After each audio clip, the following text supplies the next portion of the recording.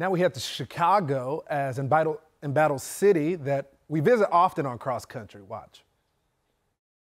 Do we need new leadership in Chicago? Yeah, my suggestion. Yeah. I hope you get this. Get rid of, get rid, get rid of, uh, what's her name? Lightfoot. Uh, Lightfoot, Brown, and and Kim Foxx. Everybody. Because because what's going? You agree with that, man? Absolutely. Everything you just said, absolutely. How bad is it here, man? It is terrible here.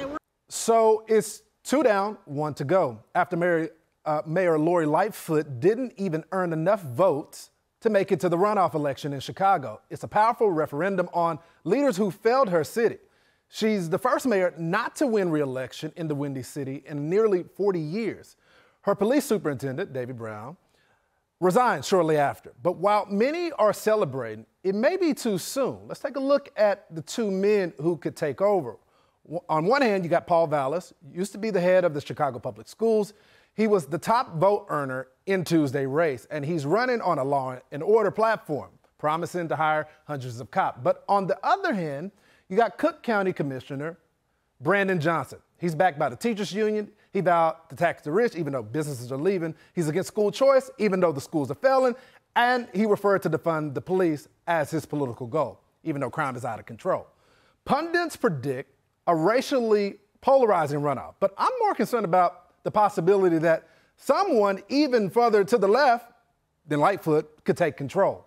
It goes without saying that a Republican would have a hard time winning in Chicago, but not one single Republican even ran.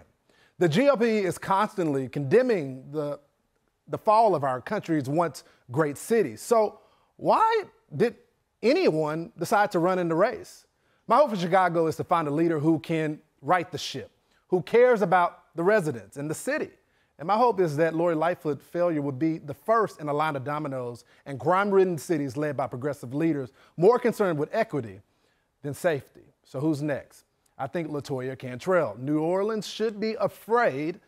Under her watch, the Big Easy got a new nickname, the murder capital. So, who's those who live there are making themselves heard, launching a recall effort to get her out. We enlisted the help of New Orleans native Fox News contributor Raymond Arroyo to find out just how close Cantrell is to the chopping block watch. Tell me, do you support this recall effort? Absolutely. Absolutely. Absolutely. Absolutely. I do. Yeah, I do. Absolutely. I do. I definitely do.